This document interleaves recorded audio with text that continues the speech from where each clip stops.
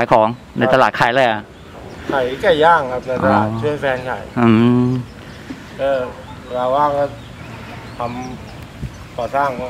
อืมต่อเติมบ้านอะไรเงี้ยซ่อมแซมอะแล้วตอนนี้น้ำท่วมเราไม่ได้ขายเหรอไม่ได้ขายต้องขนข้าวขนของออกมันลำบากอืม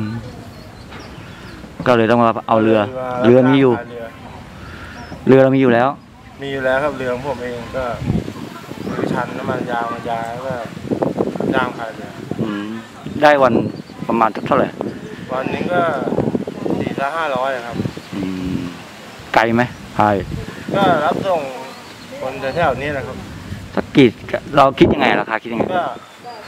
สิบบาทสิบห้าบาทยี่อืสิมบบาท อืมแล้วแต่ระยะทางครับ อืม